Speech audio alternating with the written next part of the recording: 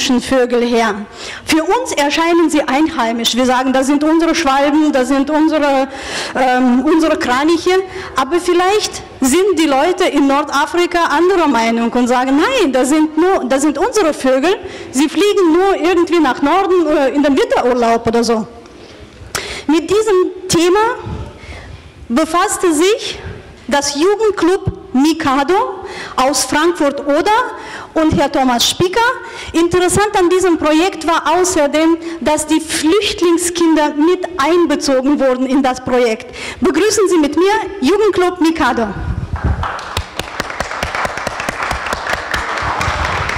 Und das Thema Migration der Vögel.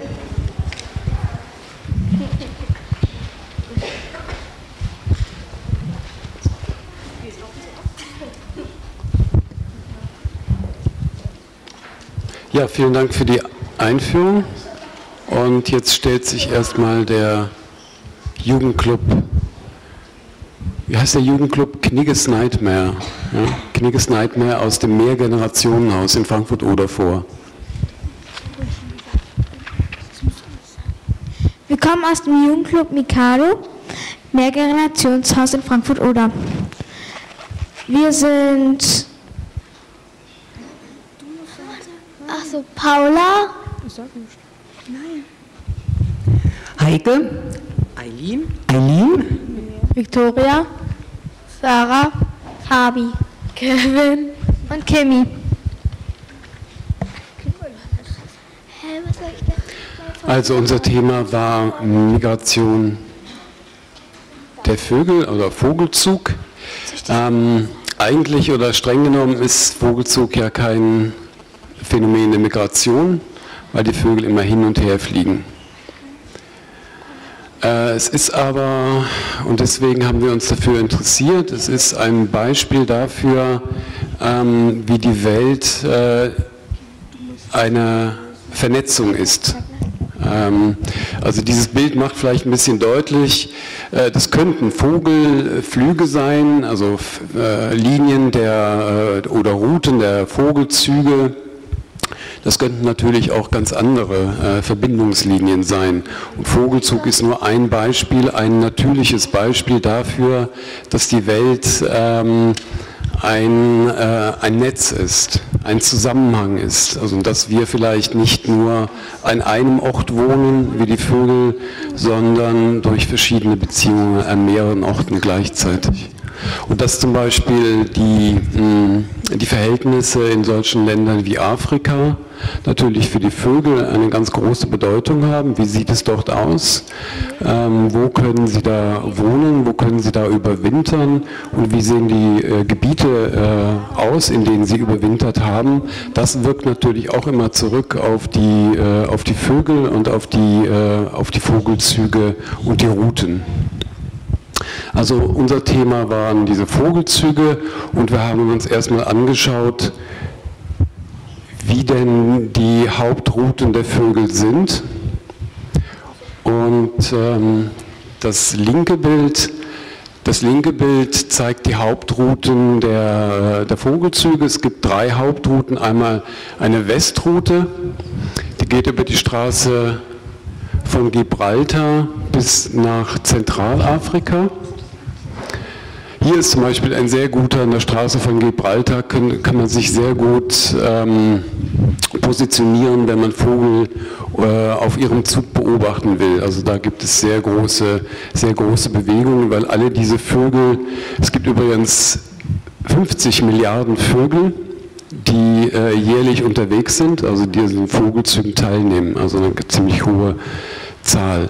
Dann gibt es, also außer dieser Westroute, gibt es eben die östliche, die östliche Route über die Balkanstaaten, Griechenland, die Türkei, Syrien, Israel, Ägypten, hier runter bis nach Zentralafrika, hier an die, nach Kenia, bis nach Kenia, manche ziehen sogar runter bis nach Südafrika. Und im Vergleich dazu die, äh, die Hauptrouten äh, der Flüchtlinge. Auch hier eine östliche Route, eine Mittelroute und eigentlich hier, das ist jetzt, äh, muss man sich ein bisschen nach da verschoben denken. Also da gibt es sozusagen, also keine Identität, keine vollständige Identität, aber es gibt, äh, es gibt Ähnlichkeiten. Es gibt Ähnlichkeiten, die natürlich damit zusammenhängen bei den Vögeln. Ähm, hoppla. Warum nehmen Sie diese Route? Warum nicht hierüber? Ähm, also diese westliche und diese östliche Route, weil diese Routen die ökonomischsten sind. Also zum Beispiel ein Flug über die Alpen äh, kostet sehr viel Energie. Deswegen werden diese, diese Routen äh, gewählt.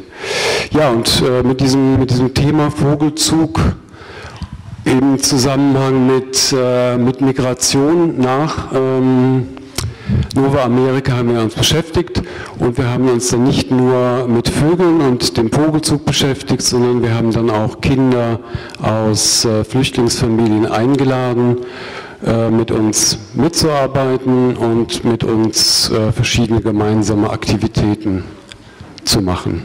Und davon ähm, erzählt jetzt Heike.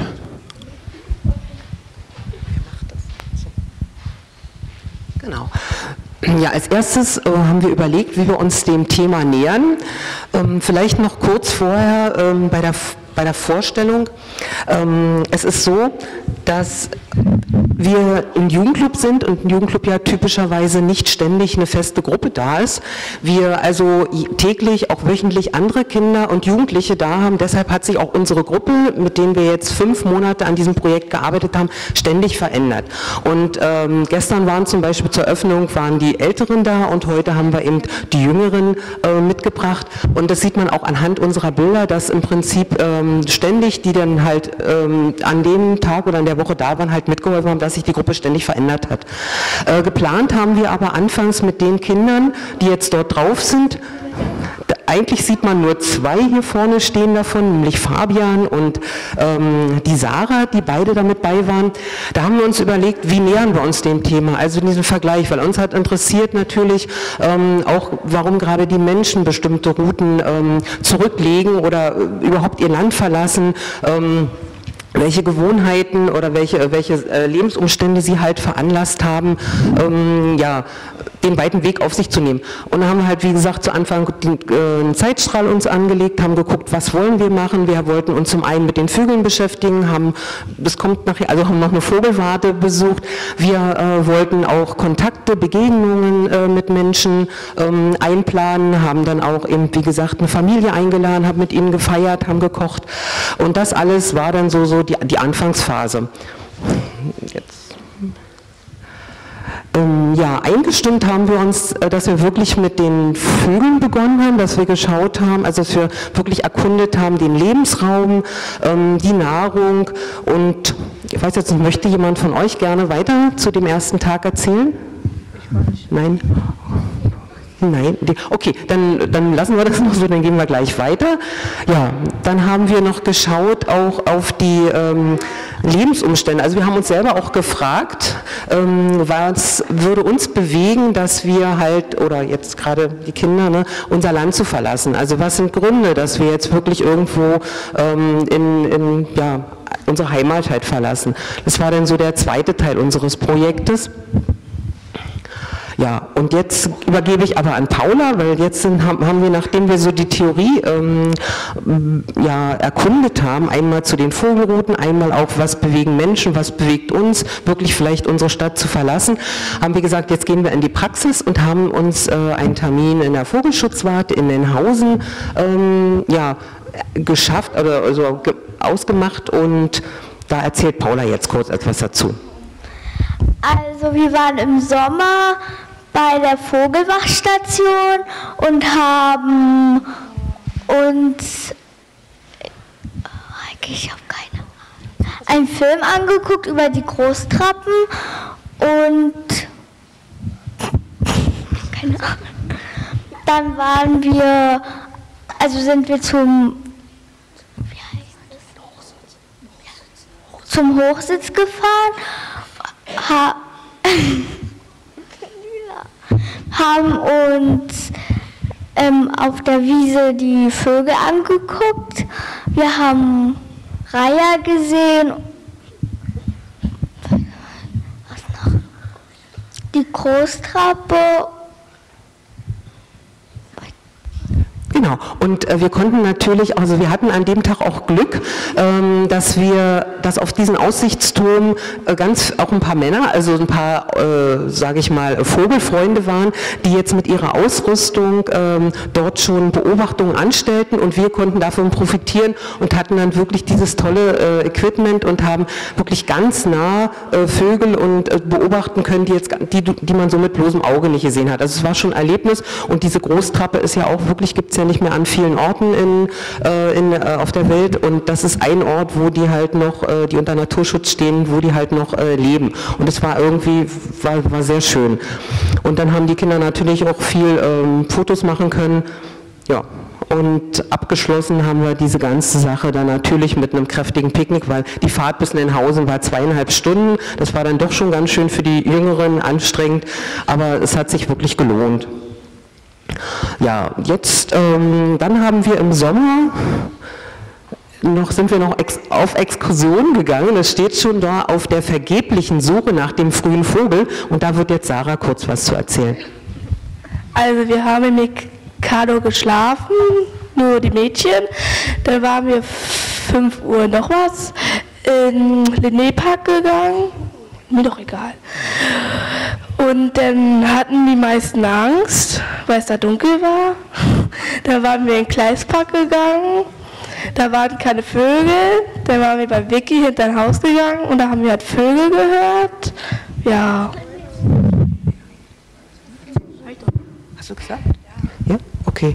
Ja, also im Prinzip vergebliche Suche war wirklich, wir haben uns um vier schon auf die äh, Beine gemacht, also es war ganz dunkel, die Stadt war still und wir haben eigentlich gehofft, auch wenn es jetzt nicht Frühling ist, dass wir trotzdem noch ein paar Vogelstimmen einfangen können und die wollten wir mit unserem Aufnahmegerät natürlich aufnehmen, um sie dann in unserem Ausstellungsobjekt sozusagen ähm, ja, mit einzubauen. Das hat wie gesagt nicht geklappt, Du möchtest dazu, Paula, dazu noch was? Okay, Paula möchte noch kurz was dazu sagen. Also wir haben eigentlich keine Vögel gehört und dann waren wir halt im Gleispark und haben andere Tiere nachgemacht. Genau. Ja, wir haben dann das Beste draus gemacht, einmal andere Tiere nachgemacht und das haben wir dann aufgenommen, dass wir wenigstens etwas mit nach Hause genommen haben. So, jetzt kommen wir zu der, also das war jetzt praktisch, die, der erste Teil befasste sich dann mit den Vögeln, Praxis, also einfach anschauen, fotografieren, ähm, Tonaufnahmen äh, fertigen und die die andere Seite war dann äh, einfach Begegnungen zu schaffen, dass wir gemeinsam feiern, spielen, kochen. Möchte da jemand gerne was zu erzählen? Vicky? Nein? Gut, gut, dann erzähle ich noch kurz etwas dazu. Also wir haben eine syrische Familie eingeladen, den Rimas mit seiner Familie, den Rias mit seiner Familie, Rimas ist die kleine Tochter, und äh, haben dann mit den Älteren, sieht man ja auf den Fotos, zusammen syrische Speisen gekocht, haben gemeinsam internationale Spiele gespielt und dann, wie es natürlich dann zum Abschluss äh, ja, äh, ganz klar ist, haben wir dann natürlich auch das, was wir zubereitet haben, gemeinsam ähm, verspeist und haben es uns gut gehen lassen. Ähm, Nochmal kurz zurück, da haben wir jetzt keine Fotos von und dann äh, nach dieser Begegnung äh, gab es dann eine zweite Begegnung, da haben uns nämlich dann, hat uns die Familie von dem Rimas, äh, von Rias eingeladen und wir durften dann beim Geburtstag dabei sein und haben dann alle gemeinsam Geburtstag gefeiert. Und da hat man auch genau, da wart ihr aber dabei und da haben wir auf alle Fälle gemerkt, also ich zumindest für meinen Teil, dass die Geburtstage doch, äh, dass wir die unterschiedlich begehen. Ne? Also es war für mich ganz untypisch, die Geschenke wurden zwar überreicht, aber die wurden zum Beispiel überhaupt nicht ausgepackt. Also es war gar nicht, im Mittelpunkt stand gar nicht so, wie es eigentlich so bei den deutschen Familien oft ist, man bekommt Geschenke, möchte die gerne auspacken, sondern es war die Sache, dass das Kind im Mittelpunkt war, es wurde sofort getanzt, es wurde gratuliert, es wurde mit allen getanzt und äh, erst später, ganz, ganz zum Schluss kam es eben zum Beispiel mit den Geschenken. Das ist so eine, keine äh, Begebenheit, die mir da noch im, im Kopf ist. Ja, unser dritter Teil war dann, ähm, was machen wir mit unseren Ausstellungsobjekten? Möchtest du, Kevin? Okay, die Vicky möchte jetzt noch ganz schnell was zum Geburtstag sagen. Doch, Vicky, jetzt musst du. Ja, jetzt ist, haben Sie es schon gesagt. Es. Was soll ich denn sagen? Okay. Na, was wir jetzt gemacht haben, den Objektkiste. Also wir haben Vögel gebastelt, also ausgeschnitten. Dann sind wir oben in den Dachboden gegangen, haben Schotter gesucht. Also wir wollten darstellen, dass zwei Leute aus ihrem Heim also flüchten müssen. Mm, Ja. Genau, wir wollten äh, den Grund, weshalb unter anderem auch ähm, Kinder und, und ähm, Familien, wie jetzt auch die vom Rias flüchten mussten und haben ein, eine Box halt als äh, zerstörte Stadt dargestellt, deshalb dieser Schutt zum Beispiel. Dann haben wir noch Figuren gebastelt, die dann praktisch äh, darstellen sollen, ähm, wie jetzt ähm, ja, der beschwerliche Weg war. Das hatten wir dann symbolisch mit, mit ähm, Gittern ähm, dargestellt. Also das kann man ja in unserem Ausstellungsobjekt dann auch sehr gerne sich anschauen. Das ist zumindest unsere kreative Phase, ähm, dass wir dann auch, wie gesagt, äh, das, was wir ganz zu Anfang begonnen haben, äh, was der Thomas schon so schön erklärt hat, dass in Parallelen zu sehen waren, ähm, wenn man die Weltkarte sieht, Routen der Vögel und auch Routen der, ähm, der ähm, Flüchtlinge. So, den Ausblick, den gibt der Thomas. Ja, danke schön, Heike. Ja, das äh, war unser Projekt in ähm, großer Kürze. Der Ausblick ähm, zu den Vögeln. Ähm, es ist natürlich so, das wissen wahrscheinlich die meisten, durch die äh, Klimaverschiebungen, durch Klimaveränderungen ähm, gibt es sehr viele Veränderungen im Vogelzug und manche, äh, manche denken sogar, dass dieses Phänomen einer afrikanisch-eurasischen Vogelzugbewegung irgendwann äh, tatsächlich zum, äh, zum Stillstand kommt, weil die Klimaveränderungen das verhindern wird. Also die Vögel einfach nicht mehr in den Süden ziehen müssen, um zu überwintern. Das wäre natürlich schade weil dadurch natürlich auch äh, sozusagen so ein Vogelflug ist oder Vogelzug ist ja auch eine Art von Informationsübermittlung. Äh, Dann kommt natürlich auch äh, weniger Information über die Vögel nach, nach Europa. Also wir hoffen, dass es weiter im Herbst und im, im Winter diese Kranich- und Wildgansrufe über uns gibt, weil das ja, das ist sehr schön. Das ist ein Ausblick und ähm, der andere Ausblick ist natürlich, dass die ähm, Verhältnisse in den, äh, in den Ländern sich entweder bessern und dass irgendwie mehr Menschen aus fremden Kulturen miteinander kommunizieren können und sozusagen erkennen können, dass wir nicht an einem Ort wohnen, sondern dass wir gleichzeitig an mehreren Orten zu Hause sind und deswegen auch äh, uns ja, miteinander handeln müssen, miteinander kommunizieren müssen. Das wäre unser Wunsch. Okay, Dankeschön.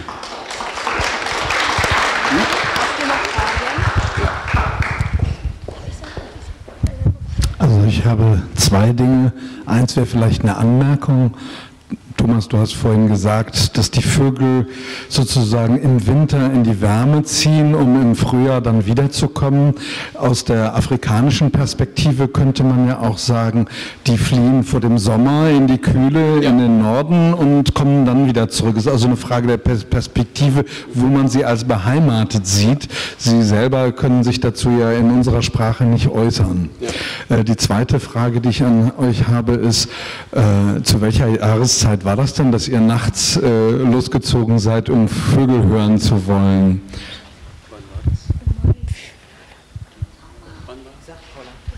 Im Sommer. Das war am 2. Am 2. September. Am 2. September. Heißt das, ähm, wie kann man das dann interpretieren, dass es sozusagen äh, in Swupford keine Vögel mehr gibt? Dass sie zumindest nicht so früh aufstehen. ich, glaube, ich glaube nicht, dass es keine Vögel mehr gibt, aber das äh, Vogelgezwitscher am Morgen, das ist, glaube ich, auch äh, saisonal abhängig oder von der, von der Jahreszeit abhängig. Vielleicht haben die, ähm, warum singen die Vögel? Weil sie irgendwie Partner suchen, weil sie ihr Revier markieren möchten. Vielleicht ist das im September nicht mehr so äh, zu spät. Also Partnersuche ist vorbei und das fängt dann im Frühjahr wieder an. Ja. Wir haben noch eine Frage. Also ich wollte nur noch mal nachfragen. Also du meinst, die Vögel haben immer einen Grund zu singen, ja? Die singen nicht grundlos.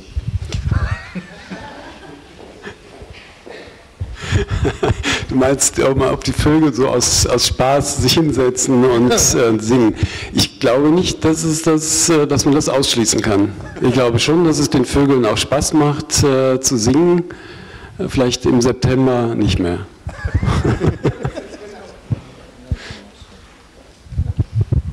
Ja, po polsku, Thomas. Okay. Ich frage auf Polnisch, Thomas.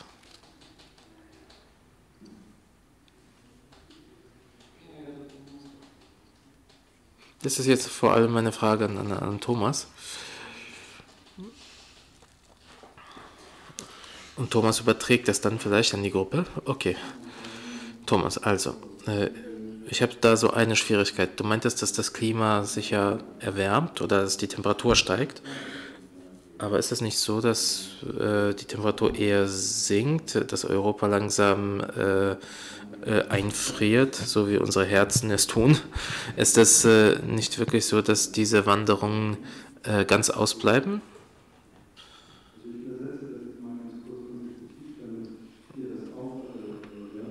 Äh, er fragte, Thomas, du hast gesagt, dass das Klima sich äh, erwärmt. Ähm, es gibt aber ja auch das, die Theorie, dass das Klima sich äh, eigentlich in Wirklichkeit abkühlt und unsere Herzen erfrieren.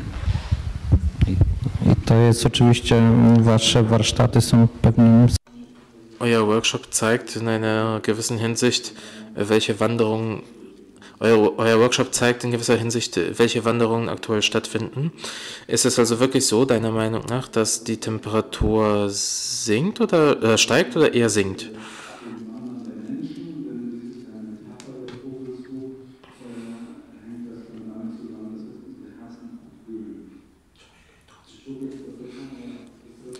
Die zweite Frage, nur ganz kurz. Äh, hat man immer, ist immer noch mit schwarzen Störchen zu tun?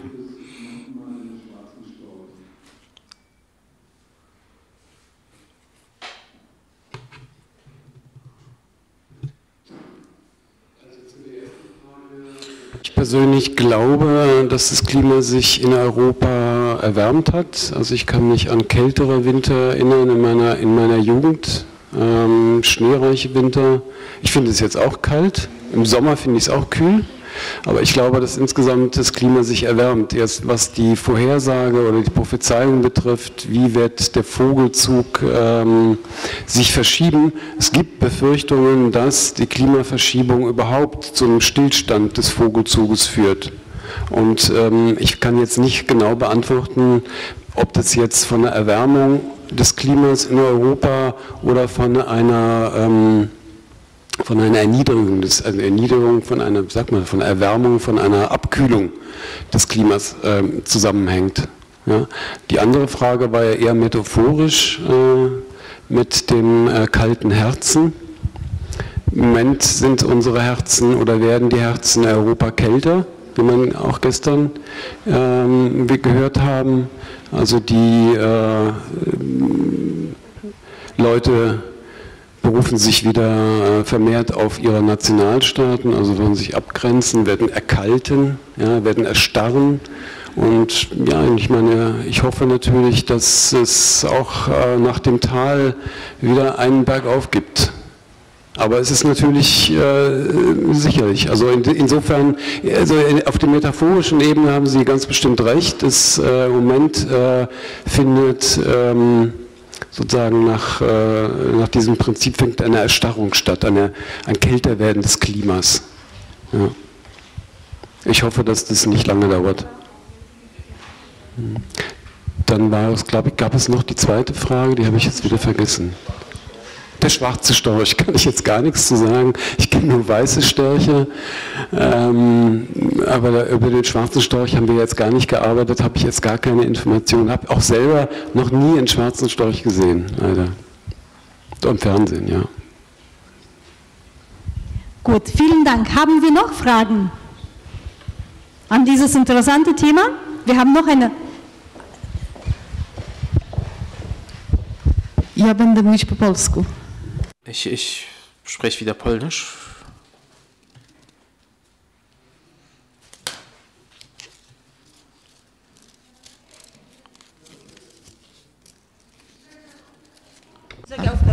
Ja chciałam zapytać, ja chciałam zapytać, Oder die Frage kommt gleich in beiden Sprachen. pracowały w grupie mieszanej, gdzie by- Ich wollte.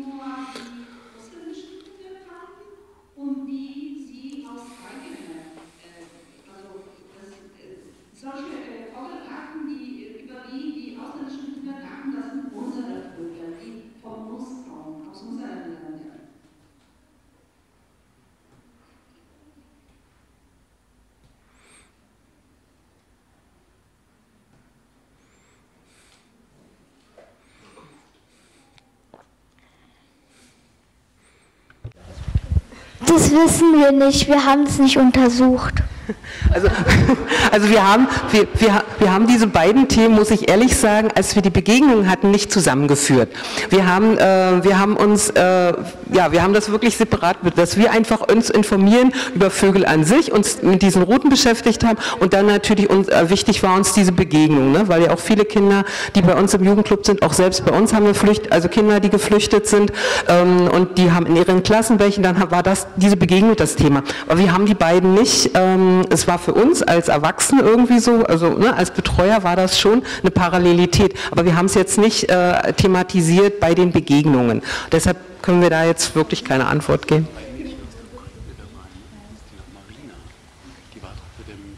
Genau, da war sie dabei, ja. Ja, okay. Also Thomas sagt gerade, stimmt, äh, wir hatten ja ein Mädel aus der Ukraine, Marina hieß, heißt sie, äh, die war zum Beispiel bei unserer Exkursion in der Nacht dabei und äh, sie, sie kannte über die Vögel, die wir da sprachen, schon. Aber das ist wirklich nur ein, ja, weil wir das ja nicht untersucht haben. Also können wir leider nicht beantworten. Wenn jemand aber unbedingt wissen möchte, welche Vögel sind da zu hören, am Stand oder bei diesem Ausstellungsstück im Foyer gibt es eine Möglichkeit, das zu hören. Also man hört da, also ich kann schon verraten, man hört Kraniche. Oder jetzt muss ich Herrn Spicker fragen, wen hört man denn bei den Aufnahmen an ihrem, bei Ihrem Ausstellungsstück? Also unser Ausstellungsstück, äh, da ist oben das oberste Teil, da ist dieses Mobile ähm, und dann kommt der zweite Kasten und an dem Kasten, wo die Mobilis sind, da ist auch eine Information über die verschiedenen Rufe der Kraniche und der Wildgänse.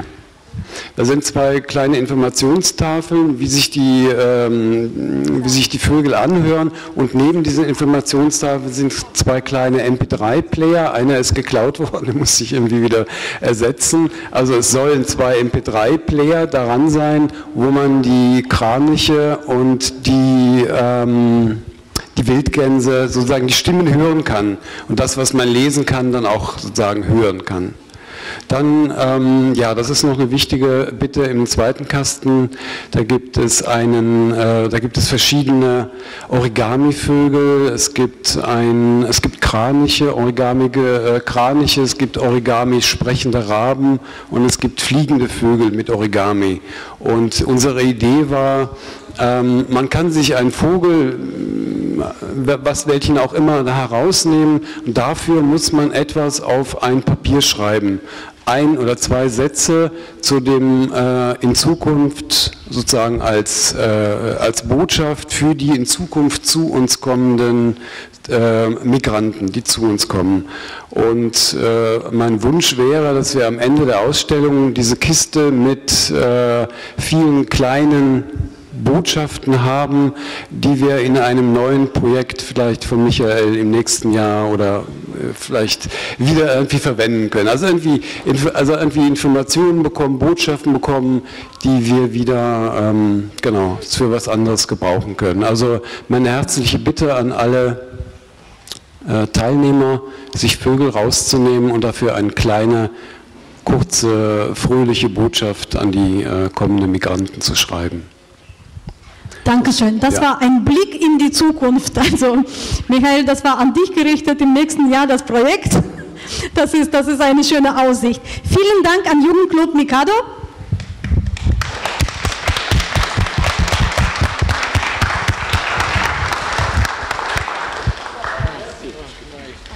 Nun haben wir ein Drittel des Programms geschafft für heute. Wir haben sechs Präsentationen gesehen, gehört, genossen. Es waren sechs Präsentationen unserer Reise in die Vielfalt, unserer Reise durch die Aromen, in die Tierwelt, in die Pflanzenwelt, über die Ukrainer, über die Flüchtlinge heute. Es ist aber noch nicht vorbei. Es geht jetzt in die Mittagspause und danach so ein bisschen gestärkt geht es natürlich weiter. Wir haben noch viel Spannendes. Wir haben noch zwei Präsentationen. Danach gibt es einen wunderschönen Spaziergang nach Slupford. Noch nicht verschwinden bitte. Also ich, ich brauche nur eine Minute. Ich muss noch eine Ansage machen. Ja, natürlich. Und äh, danach gibt es einen Film und ich glaube, Michael erzählt ein bisschen mehr. Wir haben, also vielleicht sagst du auch, wie viel Zeit wir haben und wann wir dann starten.